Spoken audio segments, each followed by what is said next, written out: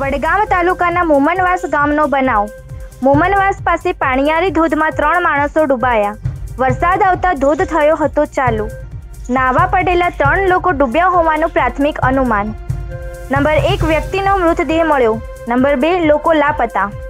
સ્થાનિક લોકોએ લાપતા વ્યક્તિની શોધખોળ શરૂ કરી. Bureau report HBN TV news Banaskantha.